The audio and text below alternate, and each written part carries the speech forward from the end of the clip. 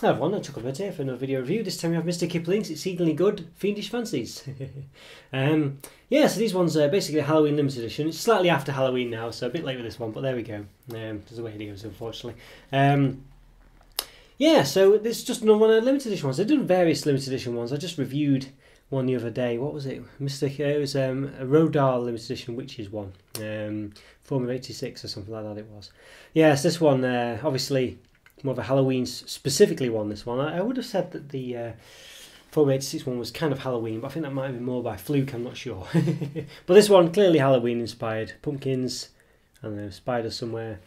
Spider's webs, is there? Yeah, there's a spider web somehow. Maybe it's Spider Man more. There's a huge web just behind it there. Maybe Spider Man is uh, now affiliated with Halloween. Who knows? And then, um, yeah, so there we go. So yeah, not too bad. And then on the side there as well. Notice it goes round a bit there. Oh, that's not bad, dear. Not bad, not bad. Oh, yeah, continuing on. Blum. What on earth's that? yeah, that's pretty uh, pretty poor, that. Yeah, so I don't know what's going on there. It's, it's got the sell by date on or whatever. Um, yeah, it's actually 25th October, so uh, it's not even before the 31st of October, unless it's assuming it must be next year.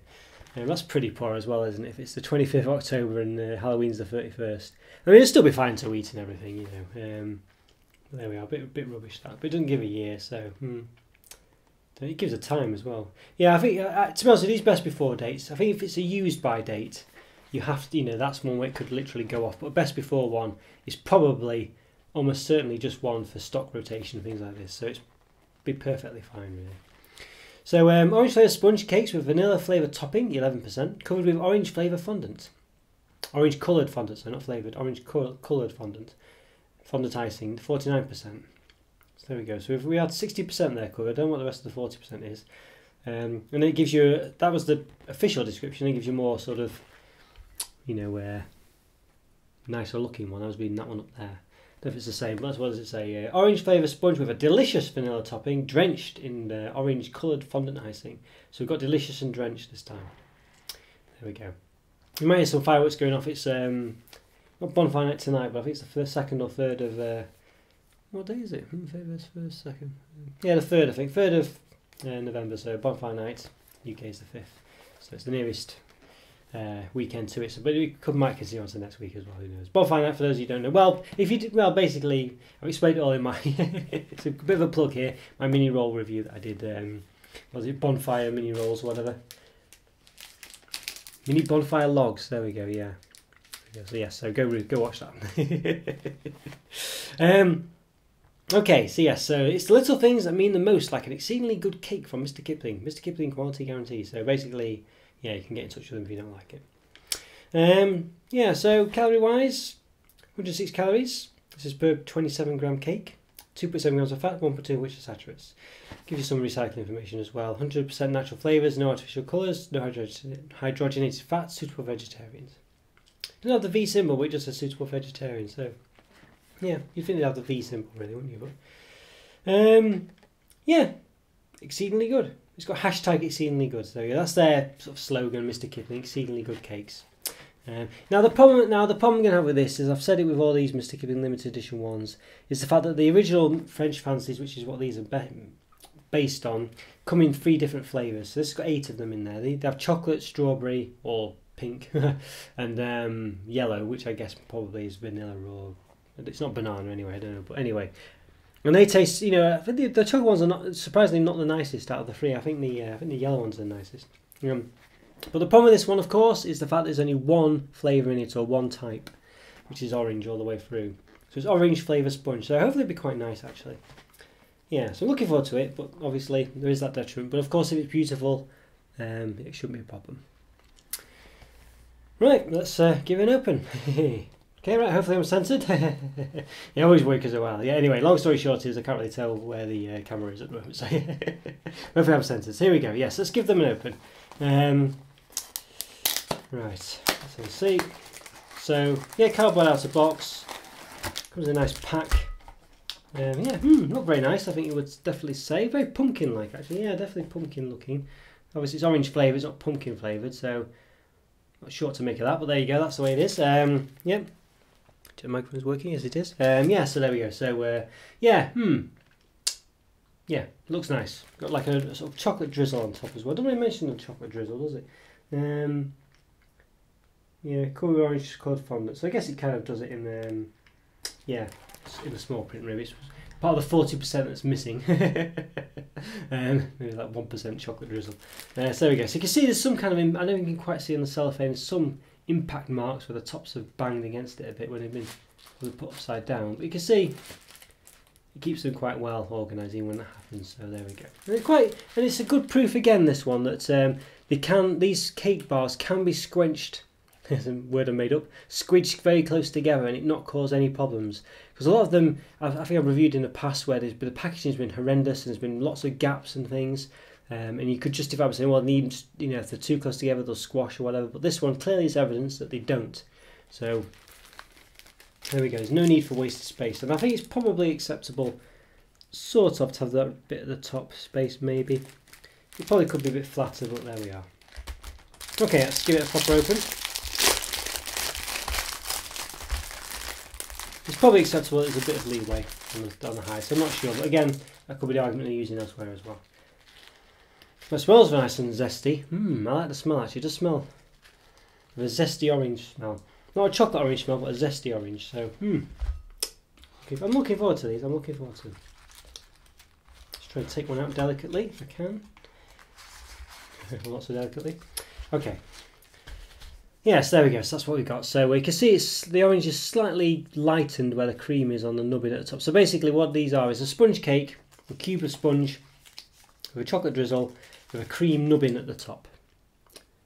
Yes, there we go So you can see at the side there, the chocolate drizzle's not extended to on some of them, so that's a bit, yeah, I don't know. It's, yeah, some of them it does, some of them it doesn't, so it's a bit of an odd one that. It's as if the chocolate drizzle only gets dri drizzles over one side almost. But um, yeah, they did make these in the Great British Bake Off um, a few years back, and it was uh, interesting, interesting. So there we go. So um, not as easy as you think to make. uh, really, nothing is, is it? So, well, most things. Yes, it's cubes. It's roughly roughly about three centimeters by three, I think. Maybe it's a bit lopsided cube. Yeah, two point seven in some places, but hmm. yeah. Well, at the bottom it's uh, three point three and a half. So yeah. So yeah, so it's not quite a cube, but uh, yeah, there we go. And a nubbin on the top, roughly half a centimeter. So, yeah, so I did discover a great way of eating these actually when I was having the other limited edition one the other day. And basically, start at the bottom and uh, eat it this way well you can't see my face, but uh, eat it on the bottom, you can end up with just the top with a nubbin of cream, and it's quite a nice way to eat it actually. Uh, so there we go. So I'll cut it in half, so you see what we're up against. So it cuts quite well. Yeah, it cuts very nicely actually, very smooth. Like that. uh, let's put the knife. I'll, I'll leave it there. So yes, there we go. Look at that. So that's exactly what we're up against. Yeah, so we've got a sponge, the cream, a bit at the top, and I think these look very accurate to what they do on the front actually. Actually, I'm pretty impressed with. Now, the, the, the, you have to remember the inset at the front is not directly half, so it looks like there's less cream. Now, it's done on purpose because if you do it this way, it looks a bit too creamy. but you can see, yeah, pretty pretty accurate, I think. Maybe some of the bushes are slightly out. It's a bit more square-like in the uh, on the box, but I think that's pretty good. And I think the creams, there's a lot of cream there. Um, yeah, and a thin layer of fondant on the top. I think that works well. So what's the actual flavours on this? It says um, orange flavour sponge cake. So the, the sponge is orange flavoured. Vanilla flavour topping, covered orange coloured fondant. So yeah, the sponge is flavoured orange. It's not a strong smell now, but it's definitely there. Orange, yeah, as I say, a, a zesty orange smell. So if you had an orange in front of you, it smelled like that rather than just chocolate orange, which kind of smells orangey, but not like a zest. Um, hmm. Yeah, I'm excited for these, and we should give them a go. So let's do it. Everyone, right, okay, back again. So let's taste one and a half. So, uh, say back again, of course, due to all instantaneous. For me, I've been moving around, changing the camera, washing my hands, all sorts. so there we go. So, uh, yeah, okay. Looks very nice, that does. Now, I'm quite impressed with that, actually, yeah. Mm. It's very nice. Smells good as well. So let's uh, give it a go. Hmm. Yeah. Hmm. I have to say, I've usually been very disappointed with the um, Mr. Kipling limited edition French fancies or whatever they've been called. But this one's really nice. Yeah, I'm really impressed with this.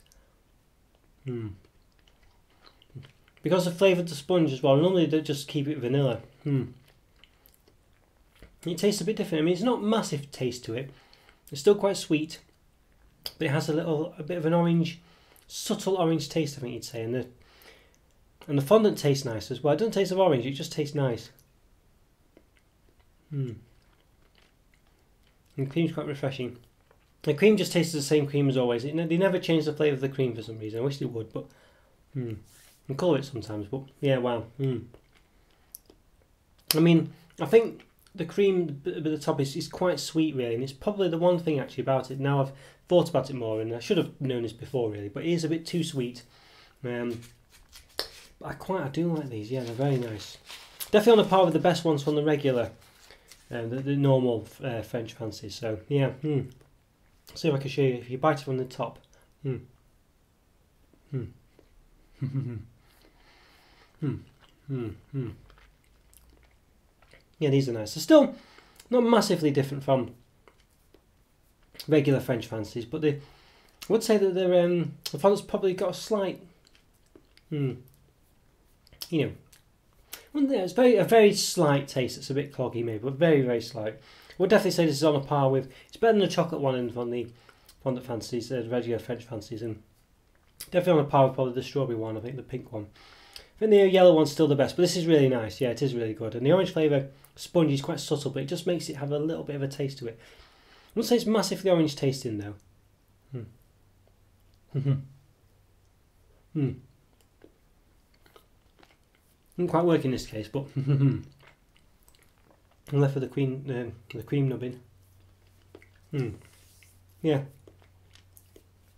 Very nice this one. I think um, I think it's not quite orangey enough. I think that's the one problem with it. But I think it's nice. I think um, hmm, one of them's probably enough. Having two of them is a bit much. You just start to think, oh, you know, uh, that's a bit much that. But um, hmm, definitely nice. And the orange, when you first have one, the orange flavour's there. It tastes nice enough.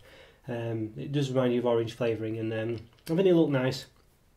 When we have a second one, it kind of not quite the same. You know, it's a bit you're used to the taste. Doesn't quite really hit you as much.